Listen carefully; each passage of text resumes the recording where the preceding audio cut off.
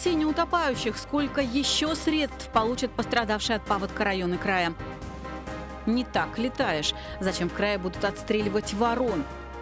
Знай наших, как боец из Благовещенки попал на всемирный чемпионат.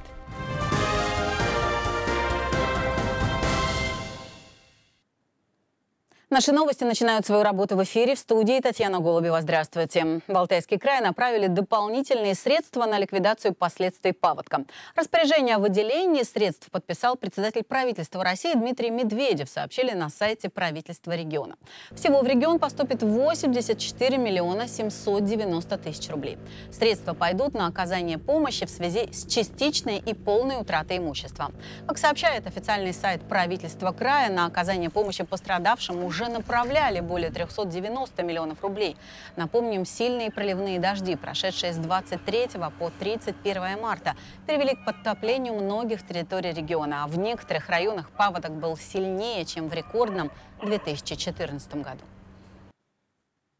На убитую региональную дорогу пожаловались жители Алтайского края, сообщает Политсибру. Говорят, что трасса между селами Мамонтова и Романова не выдерживает никакой критики. Подробнее не только об этом в обзоре материалов издания «Сибирской медиагруппы».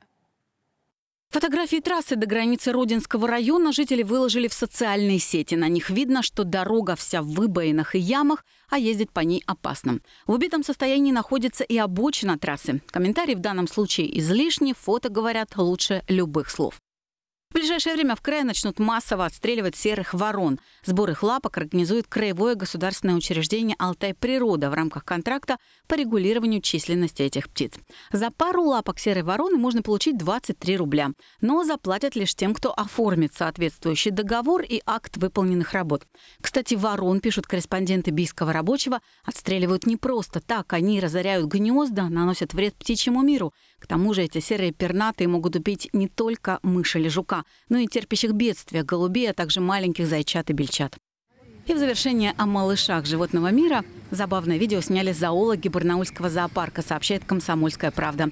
Маленькие насухи начали самостоятельно выходить на прогулки. Они выбираются из домика, где живут вместе с мамой и с интересом изучают окружающий мир, а также играют друг с другом. Кстати, в нашем зоопарке обитают так называемые коати. От своих сородичей они отличаются длинным носом. В неволе насухи могут жить до 20 лет. Татьяна Голубева, наши новости. Под Барнаулом сегодня вечером ограничат проезд всех видов транспорта. Это связано с плановым движением военных колонн. С 15.40 до 6 вечера перекрыта будет дорога Фирсово-Расказиха, а с половины 10 до 11 будет затруднено движение на дороге Фирсово-Бобров-Колесное.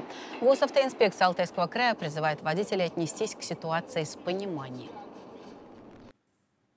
Заведующую детским садом в Бийске обвиняют в хищении более 195 тысяч рублей. Уголовное дело направили в суд, сообщает Краевое управление МВД. По данным следствия, заведующая детским садом переводила девяти сотрудникам учреждения деньги за совмещение должностей. После этого она забирала все средства себе, поясняя, что деньги идут на работы для детского сада. Однако полицейские выяснили, что все было сделано за счет добровольных взносов родителей.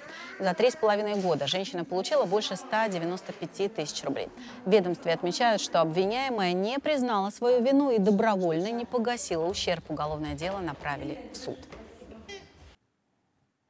Главное, чтобы не комом. Боец из Благовещенского района дебютирует в одном из престижных турниров планеты. Алексей Кунченко вяжется в драку под эгидой самого влиятельного промоушена мира – UFC. Первым соперником нашего земляка станет бразилец Тиаго Алвес. Это бывший претендент на титул чемпиона UFC в полусреднем весе. Алвис последний раз выходил на ринг в феврале этого года.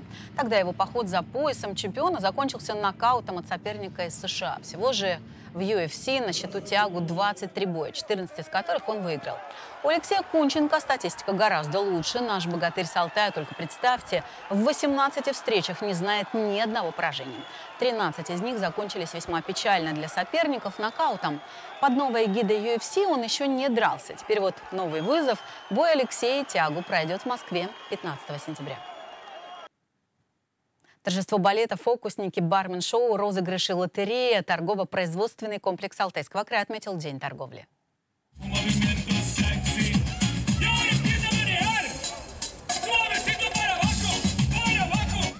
Мед, фрукты и овощи, мясо, сыры, масло и все по низким ценам. В основном на прилавках товары собственного производства. Торгово-производственный комплекс Алтайского края совместно с администрацией Ленинского района провел ярмарку, посвященную Дню торговли. Несколько сотен покупателей ушли не только с покупками, но и с ценными подарками. Сегодня у нас первая ярмарка после долгого перерыва. Практически пять лет мы ее не проводили. Надеюсь, что эта ярмарка послужит отправной точкой для нового этапа развития нашего торгово-производственного комплекса.